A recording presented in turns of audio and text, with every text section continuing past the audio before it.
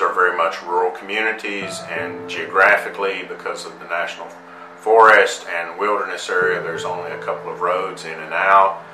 Uh, Copper Basin Medical Center was the option, the only option for a lot of families here for any kind of health care. I, I know most communities feel ownership to their area businesses and hospitals, but here it truly was ownership. It was funded uh, through an employee initiative through the uh, Tennessee Copper Company. Uh, the company contributed money, the employees contributed money. There were small clinics and hospitals here prior to that, but nothing to the size of what Copper Basin Hospital was. There's no local primary care. Well, there, I think there's one or two doctors that are still seeing patients, but a lot of people have had to find new primary care physicians. There is no emergency room.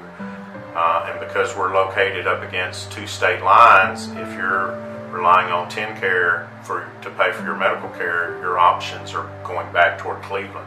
It's a 45 minute drive through a narrow lane road through the national forest and a river gorge, but it is very easily blocked. Well, one thing I worry about is that, that family with a child that needs that emergency care in the middle of the night and they're not able to get it.